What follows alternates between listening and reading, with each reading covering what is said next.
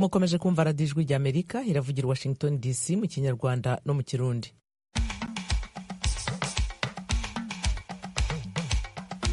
Mwaramutse neza nshuti muduteze amatwi. Muri kumwe nanjye eugenia mukankusi uyoboye ibiganiro byo muri iki gitondo. Mu burundi ishyaka iprona riritegura amatora mu nzego zose z'ubutegetsi. Baba abakenyezi baba abahungu bakiri bato nibo tugiye gushyiramo ingufu tubigishe akarangamutima tubigishe iby'umugambwe wakoze wamariye igihugu. Uwo ni niyo nkuru gilbert yatorewe kuyobora iprona mu ntara nshya ya burunga. Muri afurika y'epfo abakozi barenga mirongo ine baraye bafatiwe mu bisigazwa by'inzu y'igorofa yarimo kubakwa yasenyutse ejo kuwa mbere mu mujyi wa george abandi mirongo ine barakomeretse. Ishyaka riri ku butegetsi muri mozambique frelimo ejo ryashyizeho umuyobozi waryo mushya mbere y'amatora azaba mu kwezi kwa cumi uyu mwaka. Perezida w'ubufaransa emmanuel macron n'umukuru w'urwego nyobozi rw'umuryango w'ubumwe bw'uburayi ursula von den leyen ejo basabye perezida w'ubushinwa Xi Jinping gufata ingamba zatuma haba imigenderanire myiza mu by'ubucuruzi hagati y'igihugu cye n'umugabane w'uburayi. Duhere ku makuru avugwa hirya no hino ku isi mwayateguriwe kandi murayagezwaho na fideli niyongabo urakoze eugenie. Ku makuru yo hirya no hino ku isi tubafitiye duhere ku yerekeye akarere ko mu buseruko bwo hagati bw'isi aho israel yarekuriye ibikorwa vya gisirikare vy'inteko zayo mu ntara ya gaza. Hari amasaha make nyuma y'uko umugwi Hamas wemeye amasezerano yo guhagarika ingwano yashikirijwe n'ibihugu vya Misiri na Qatar. Inteko za Israel muri iki gihe ziriko zikora ibitero mu karere ka Rafa nk'uko vyatangajwe ejo ku musi wa mbere n'abategetsi b'ico gihugu. Iyo ngingo yafashwe amasaha make inyuma y'uko umugwi Hamas wemeye amasezerano yo guhagarika ingwano yashikirijwe n'ibihugu vya Misiri na Qatar. Ayo masezerano yari agenewe guhagarika ingwano imaze amezi indwi mu ntara ya gaza. Umugwi hamas wari wemeye ayo masezerano inyuma y'uko israel isavye abasivile baba mu karere ka rafa kuhava imbere y'uko inteko zigwanira ku butaka zayo zitangura ibitero muri ako karere. Ibiro vy'umushikiranganji wa mbere wa israel benjamin netanyahu vyatangaje ko amasezerano yashikirijwe na misiri na qatar ari kure y'ibintu bikomeye igihugu ciwe gisaba. Yamara ibiro vy'umushikiranganji wa mbere netanyahu vyatangaje ko bizorungika abajejwe ibiganiro kubandanya ibiganiro ku vyerekeye amasezerano yo guhagarika ingwano. Mu gitondo co ku munsi wa mbere igisirikare ca israel catangaje ko categetse hafi y'abantu ibihumbi ijana kuva mu karere ka rafa ni ikimenyetso ko ibitero vy'inteko zigwanira ku butaka vyari bimaze igihe birindiriwe bigiye gutangura. Israel yatangaje ko rafa ariko karere ka nyuma abagwanyi b'umugwi Hamas bacumbitsemwo. Leta zunze ubumwe za Amerika yatangaje ko idashigikiye ibitero vy'inteko zigwanira ku butaka za Israel mu gisagara ca Rafa kiretse Israel ishikirije umugambi wizigiwe ugenewe gukingira abasivile bo muri ico gisagara. Naho muri Kenya leta yaho iriko iraha imfashanyo z'ibifungurwa abantu bakuwe mu vyabo n'imyuzure yatewe n'imvura y'isegenya yaguye muri ico gihugu nta gahengwe karaboneka ku myuzure mu gihugu ca Kenya mu gihe imvura ibandanya kugwa muri ico gihugu. Igitigiri c'abahitanywe n'imyuzure yatewe n'imvura y'isegenya yaguye muri ico gihugu mu misi ya vuba kigeze muri iki gihe ku bantu barenga amajana abiri. Abategetsi ba Kenya batangaje ko muri iki gihe irengero ry'abantu ijana na mirongo itandatu na bane ritazwi mu gihe ingo ibihumbi mirongo ine na bibiri n'amajana atanu na mirongo ibiri na zitandatu zavuye mu vyabo vyagize ingaruka ku bantu barenga ibihumbi amajana abiri na cumi. Ubushikiranganji bw'intwaro yo hagati bwavuze ko bwatanguye guha amahema abantu baba mu bice bitandukanye vy'igihugu kugira yakire abakuwe mu vyabo n'imyuzure. Mu gice ca kisumu hafi y'ikiyaga victoria bamwe mu bavuye mu vyabo baratanguye kuronka imfashanyo. Leta ya kenya iriko iragerageza kuraba ukugene yofasha mu gihe ibikenewe ari byinshi cyane ku banyagihugu basinzikajwe n'imyuzure yatewe n'imvura y'isegenya iherutse kugwa mu gihugu. Leta yaranebaguwe ku nyishu yatanze ku nkurikizi z'imyuzure yasinzikaje abanyagihugu. Muri afurika y'epfo abakozi barenga mirongo ine barafatiwe mu bisigarira by'inyubakwa y'igorofa yari kirubakwa yasenyutse ejo ku munsi wa mbere mu gisagara ca george ku nkengera z'ibahari. Abandi bakozi mirongo ine barakomeretse abakozi bakomeretse bajanywe mu bitaro. Yamara nta birengaho abategetsi batangaje buno nyene ku vyerekeye ibikomere vy'abo bakozi. Muri afurika y'epfo abakozi barenga mirongo ine barafatiwe mu bisigarira by'inyubakwa y'igorofa yariko irubakwa. Iyo gorofa yasenyutse ejo ku munsi wa mbere mu gisagara ca george kiri ku nkengera y'ibahari. Abandi bakozi mirongo ine barakomeretse. Abakozi bakomeretse bajanywe mu bitaro. Yamara nta birengaho abategetsi batangaje buno nyene ku vyerekeye abo bakozi bakomeretse ibinyamakuru muri afurika y'epfo vyamenyesheje ko abakozi batari munsi ya batanu bakomeretse bikomeye cane. Iyo nyubakwa y'igorofa yasenyutse gato inyuma isaha umunani zo kumutaga mu masaha yo mu gisagara ca george kiri hafi y'ibirometero amajana ane mu buseruko bw'igisagara ca cape town mu bumanuko bwa afurika y'epfo ku nkengera z'ibahari y'abahindi. Abategetsi bavuga ko abakozi bagera kuri mirongo ine n'umunani bagifatiwe mu sigarira vy'iyo nyubakwa yasenyutse bifatiye ku gitigiri c'abakozi bari aho yari kirubakwa. Umukuru w'igisagara ca george chantel edwards close ni we yatangaje iyo nkuru.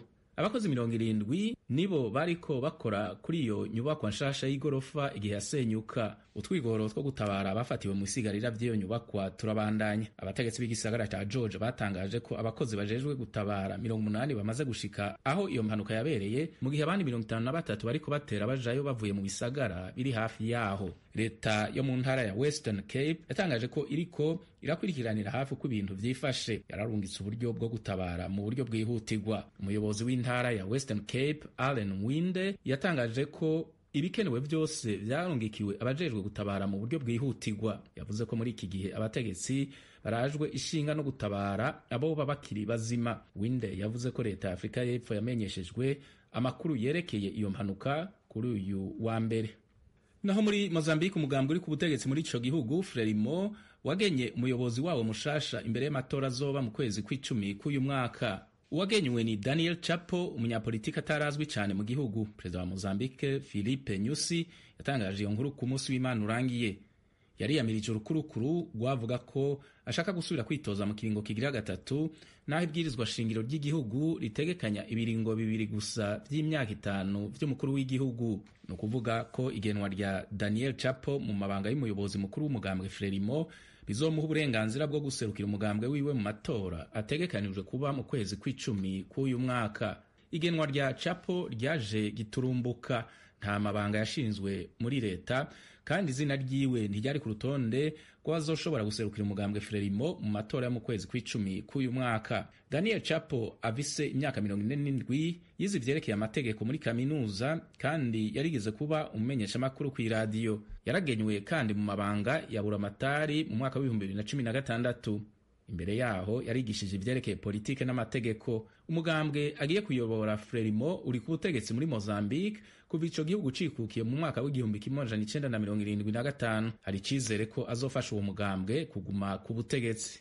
Naho mu bufaransa perezida waho emmanuel macron n'umukuru w'urwego nyobozi rw'umuryango w'ubumwe bw'uburaya ursula von der leyen basavye perezida w'ubushinwa xi jinping gufata ingingo zizotuma haba imigenderanire myiza mu vy'ubudandaji hagati y'igihugu ciwe n'umugabane w'uburaya.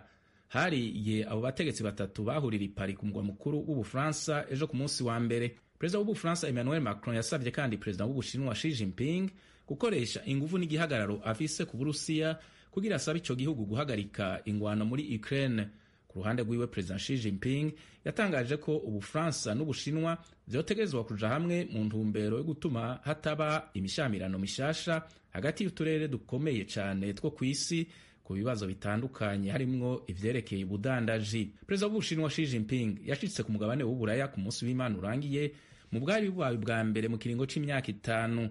Yashitse kuri uyo mugabane mu gihe hari ibibazo bitera vyiyongera ku bijanye n'ubudandaji ivyo bibazo birimwo ingingo y'umuryango w'ubumwe bw'uburaya yo gukora amatohoza ku mahinguriro yo mu bushinwa ashorera ibidandazwa vyayo mu bihugu bigize uyu muryango. Muri ico gihe ubushinwa nabwo buriko bukora amatohoza cane cane ku binyobwa bugurira mu bufaransa.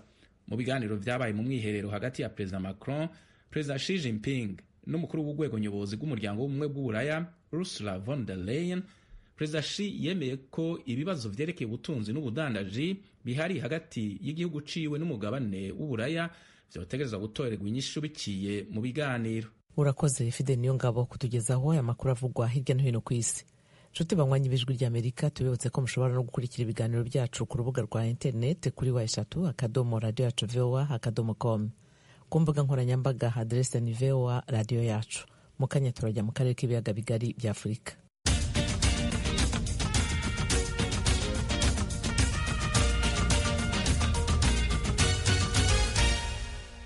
radiyo ijwi ry'amerika tugiye gukomereza ibiganiro byacu mu karere k'ibiyaga bigari bya afurika. Mu rwanda urukiko rw'ibanze rwa nyarugenge i kigali rwateye utwatsi ikirego cy'umuryango wa sinapol rwigara wasabaga guhagarika no gutesha agaciro cyamunara y'umutungo wabo. Eric bagira ubusa ejo yakurikiranye isomwa ry'urubanza. Iyo cyamunara yabaye ku itariki ya makumyabiri n'esheshatu z'ukwezi kwa kane uyu mwaka ikomeje kuba intandaro y'impaka hagati y'umuryango wa nyakwigendera sinapol rwigara na banki y'ubucuruzi ya equity bank. Yakoreshejwe n'umuhesha w'inkiko vedaste habimana ku mutungo uherereye mu kiyovu cy'abakire mu karere ka nyarugenge. Abunganira bo kwa rwigara ari bo umunyamategeko gatera gashabana na mugenzi we pierre ruberwa nibo bari batanze ikirego. Bavuga ko umuhesha w'inkiko yayikoresheje mu buryo bunyuranije n'amategeko kandi ko na nyir'ubwite adeline mukangemanyi rwigara atari ari mu gihugu. Abo banyamategeko bakavuga ko banki y'ubucuruzi ya equity bank yasabaga kugurisha umutungo wo kwa rwigara nta masezerano y'umwenda yagiranye n'uruganda rw'itabi rwa rwigara premier tobacco company limited ptc mu mpine. Ni mu gihe umuhesha w'inkiko habimana uhagarariwe n'umunyamategeko ari pierre munyangabe yatanze inzitizi yo kutakira iki kirego. Urukiko rushingiye ku mategeko arebana no guhagarikisha ndetse no gutesha agaciro icyamunara rwasobanuye ko umuntu wese ubifitemo inyungu ashobora gusaba kuyihagarikisha igihe iri gukorwa mu buryo bunyuranije n'amategeko. Rwavuze ko umucamanza aca urubanza ku kirego yaregewe. Urukiko rwasobanuye ko nta muburanyi ushobora guhindura ikiburanwa. Ababuranyi bombi batabyemeranijweho. Rwavuze ko ikirego cyatanzwe na mukangemanyi rwigara gisaba guhagarikisha cyamunara. Umucamanza yavuze ko atari guhindura ngo asabe gutesha agaciro cya munara itari yakabayeho. Ashingiye kuri izo ngingo z'amategeko umucamanza mu rukiko rw'ibanze rwa nyarugenge umutungo kwa rwigara uherereyemo yavuze ko nta nyungu mukangemanyi rwigara agifite yo guhagarikisha cya mundara kuko yarangije kuba. Yavuze ko inzitizi y'umuhesha w'inkiko vedaste habimana ifite ishingiro kandi ko ikirego cyo kwa rwigara kitakiriwe ngo gisuzumwe mu ngingo zacyo umucamanza mu rukiko rw'ibanze rwa nyarugenge yibukije ko mukangemanyi adeline rwigara ashobora gutanga ikindi kirego gisaba gutesha agaciro cyamunara ni cyamunara yakozwe ku nyubako ya kwa rwigara. Yagurishijwe amafaranga abarirwa muri miliyari imwe na miliyoni zisaga ijana na cumi n'esheshatu z'amanyarwanda. Hishyurwaga umwenda wa miliyoni zibarirwa muri magana atatu mirongo ine n'icyenda z'amafaranga icyahoze ari banki y'ubucuruzi yakoje banki ivuga ko abo kwa rwigara bayibereyemo. Ni mu rubanza batsinzwe mu bihumbi bibiri na makumyabiri na rimwe mu rukiko rukuru rw'ubucuruzi. Uwo mwenda ukomoka ku nguzanyo rwigara yatse mu bihumbi bibiri na cumi na kane atarapfa iyo banki yakoje banki nyakwigendera rwigara ni umwe mu banyemari bari bakomeye bayishinze kugeza ubu yamaze kugurwa na equity bank. Umunyamategeko Pierre Ruberwa umwe mu bunganira umuryango wo kwa Rwigara yemereye ijwi rya Amerika ku murongo wa telefone ko amaze kubyumvikanaho na mugenzi we Gatera Gashabana ndetse n'abagize umuryango wa nyakwigendera Rwigara bagiye guhita batanga ikirego gisaba gutesha agaciro cya munara. Ubusanzwe iki kirego gitangwa mu gihe kitarenze iminsi cumi n'itanu uhereye ku munsi cyamunara yabereyeho. Bisobanuye ko basigaranye iminsi itanu gusa kuko hashize iminsi icumi cyamunara ibaye abo kwa rwigara bakomeza kumvikana bahakana bagatsemba umwenda equity bank ivuga ko bayibereyemo. Bashinja ubutegetsi gukomeza kubagerekaho imyenda bugambiriye kubambura utwabo. Eh bagira ubusa ijwi rya amerika i kigali. Mu burundi ishyaka uprona riratangaza ko rizajya mu matora yose nubwo amafaranga y'ingwate yazamuwe cyane ku bashaka kwiyamamariza umwanya w'umukuru w'igihugu abagize inteko ishinga amategeko n'abajyanama ba komine yazamuwe ku rugero runini. Ijwi rya amerika yabateguriye inkuru yifashishije abanywanyi bayo mu burundi. Turayigezwaho na Thierry Ndayishimiye ukorera i Kigali mu Rwanda.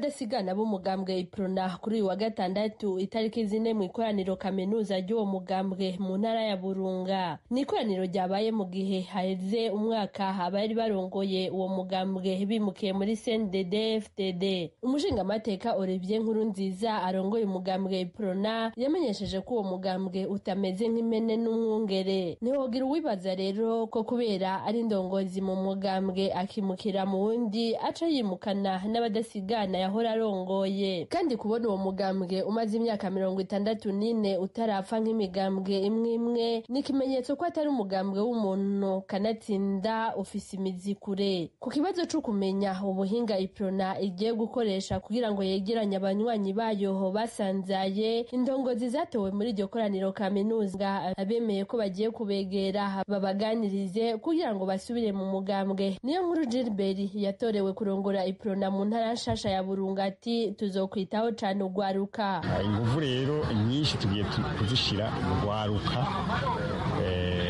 baba abakenyezi baba abahungu bakiri bato nibo tugiye gushyiramo ingufu tubigishe akarangamutima tubigishe iby'umugambwe wakoze wamariye igihugu kandi watumye uteza imbere igihugu. Iprona irabona kandi ko hari ibibazo by'ubutunzi mu gihugu uwo mugambwe wohindura kugira ngo ubutunzi busubire butotahaye. Umushingamateka olivier nkuru nziza arongoye iprona ati ni byiza ko leta iriho ubu ihimiriza abarundi kugwiza umwimbu cyane cyane uw'amavoka n'ikawa kugira ngo amafaranga mvamakungu yiyongere. Ariko muri iprona baribaza bati none mu kurindira umwimbu wa mbere uburundi buzokoresha amafaranga mvamakungu bukuye hehe? Kuri ubwo bukene bw'amafaranga mvamakungu nyene olivier nkuru nziza asigura ko bwavuye ku itunganywa ribi mu by'ubutunzi. Muri iprona bati ibyo byatumye ibanki nkuru y'igihugu idashobora gukurikirana ukugena amafaranga mvamakungu akoreshwa. Icokorwa rero ni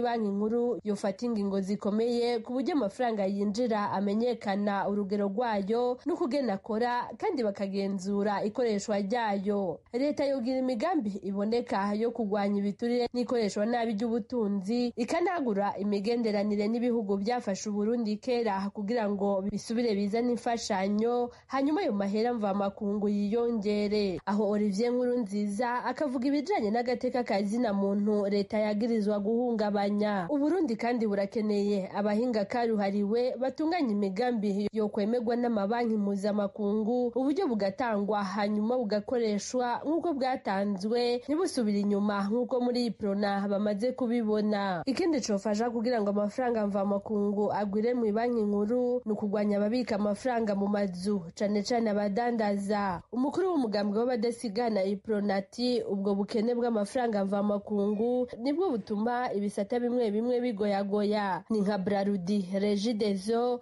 igitoro isukari n'ibindi. Kandi bidatorewe inyishu. Yambona kazoza ko mu bihumbi bibiri na mirongo ine uburundi kizoba ari igihugu cifashe mu mwaka w'ibihumbi bibiri na mirongo itandatu naho kikaba ari igihugu giteye imbere. Umushingamateka olivier nkuru nziza arasaba inama rukokoma mu bijanye n'ubutunzi. Turafise abahinga bakoze muri iki gihugu naho baba baragiye mu zabukuru ni abantu bagifise ubwenge boterera itunganywa neza mu bihe nk'ibi.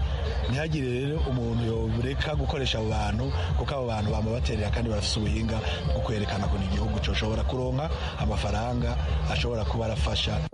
Umukuru w'umugambwe ipronati erega ibyo bibazo bitavuye mu nzira n'amatora ntazoshoboka. Ku kibazo co kugenera iprona izokora kugira ngo isubire yivyukiranye itsinda amatora umukuru w'uwo mugambwe asigura ko inguvu za mbere ari uko umugambwe arongoye utarapfa nk'iyindi mwimwe nubwo haheze imyaka mirongo ibiri utari ku butegetsi kandi utarigera usiba amatora. Ikindi gikomeye ni uko abadasigana bariko barasubiza hamwe. Iprona izozana imigambi iboneka yotuma ubutunzi bwiyongera abarundi bakava mu kangaratete barimwo muri iyi ntwara ya CNDD FDD abakozi ba leta bagashira imbere inyungu z'igihugu bakareka gushira imbere inyungu zabo. Mu bijanye n'ingwate zisabwa kugira ngo ubishaka yitoze muri iprona bati ni ubwa mbere hasabwe amahera menshi nk'ayo kandi no kugora abanyagihugu. Ariko muri iprona ayo mahera na yo bazobura. Olivier Nkurunziza abona ko gusaba ingwate ingana uko ari inzira yo kuniga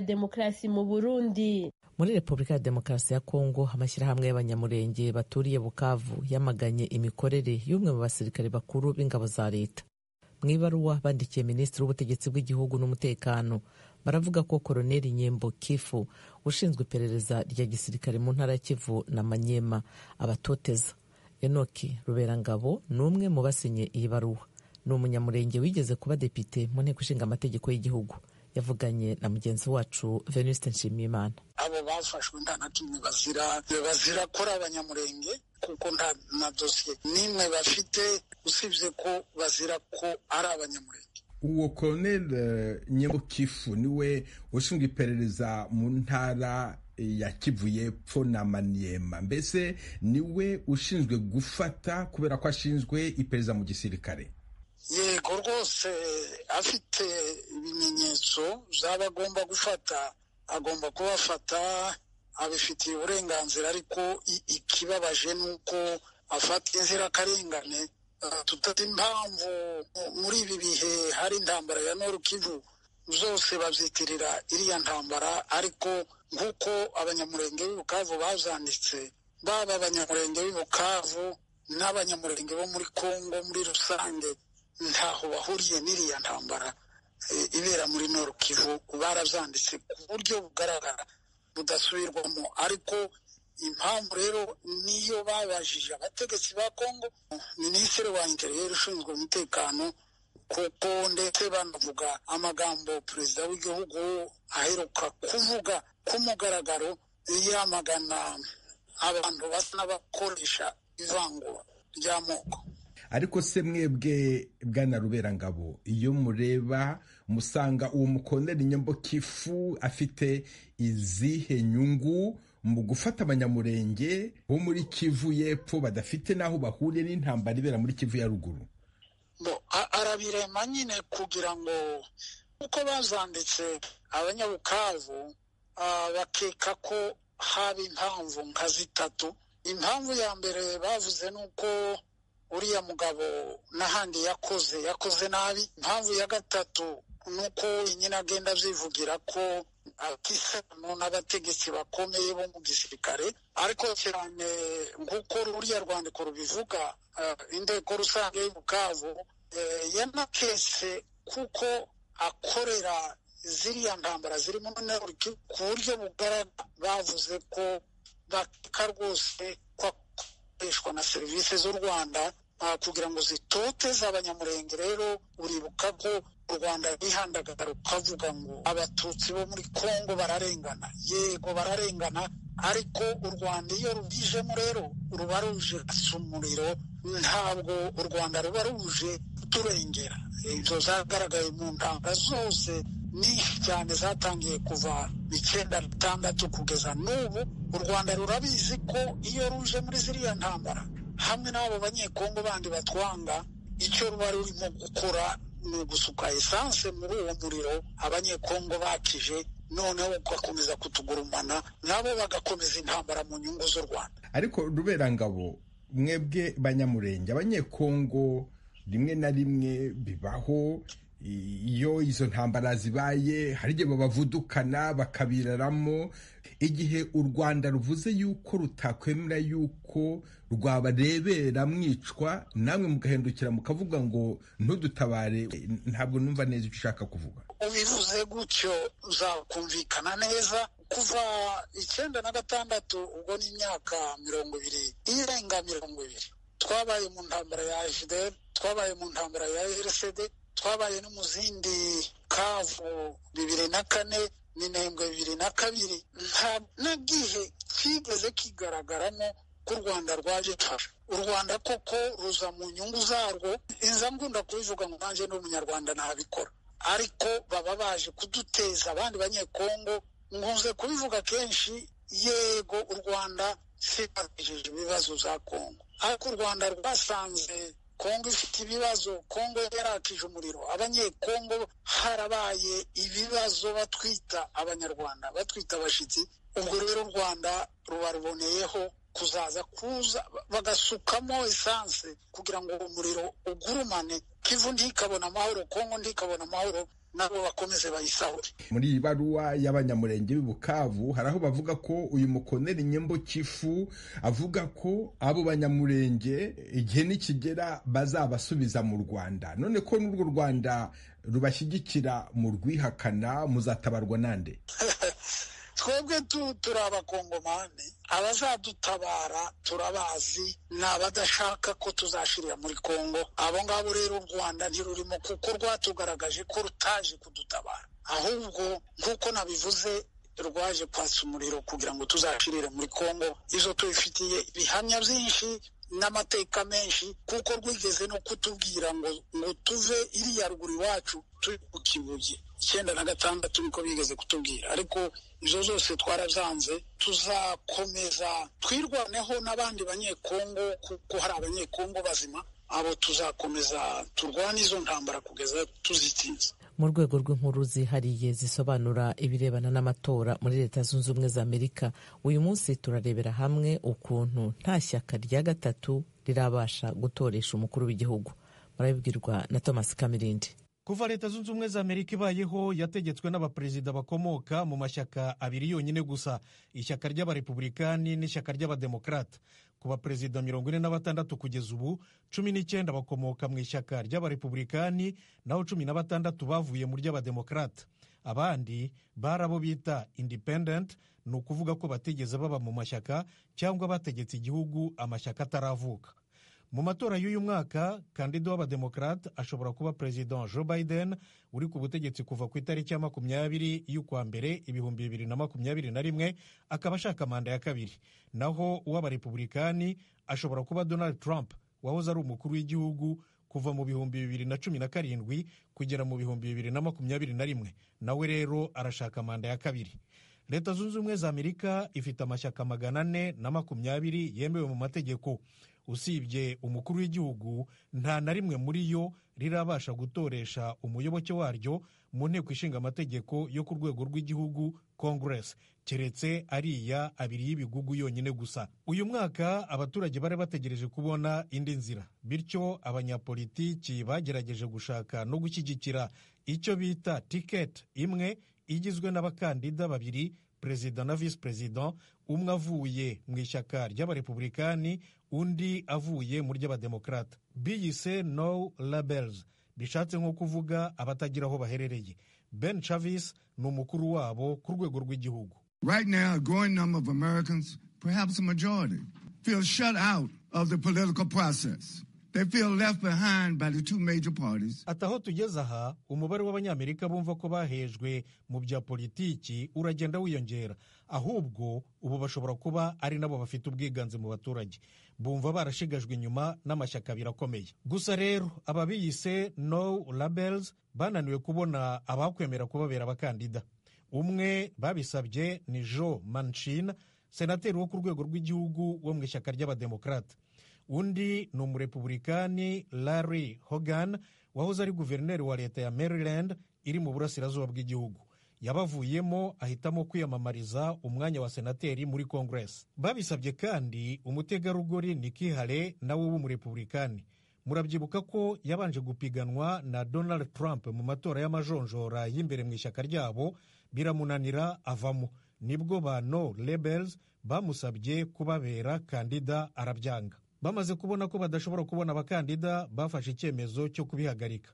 Nyamara bavuga ko bari bamaze gusarura amadolari yo gukoresha mu matora miliyoni mirongo itandatu y'impano z'abaturage babashyigikiye. Abaturage ba leta zunze ubumwe za amerika batifuza perezida joe biden na donald trump muri maison blanche perezidansi ya repubulika basigaranye icyizere na cyo gicagase ariko ku witwa robert f. Kennedy jr akomoka mu muryango w'ibyamamare muri politiki wa ba kennedy. Yashatse kwiyamamaza nk'umudemokarate aza kubireka ahitamo kuba kandida perezida wigenga. Abasesenguzi mu bya politiki bavuga ko ashobora gusarura amajwi mu bayoboke b'ishyaka ry'abademokarate n'abo mu ishyaka ry'abarepublikani ariko ntibamuha amahirwe ahambaye yo gutsinda. Abandi bakandida bahari ni benshi ariko ntibazwi cyane.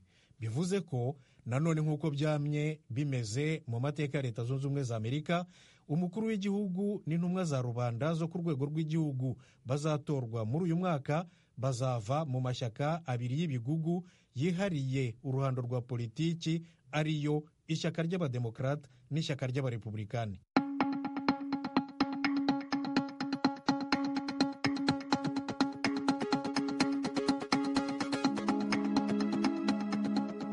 Nshuti muduteze amatwi aha ni ho dusoreje amakuru yacu yo kuri iyi saha. Kuri mikoro mwari kumwe nanjye eugenia mukankusi. Ndabashimira ko mwahisemo gukurikira radiyo yanyu ijwi rya amerika. Nshimira na bagenzi banjye bose bamfashije gutegura amakuru no kuyabagezaho. Ndabifuriza amahoro n'amahirwe mugire ibihe byiza.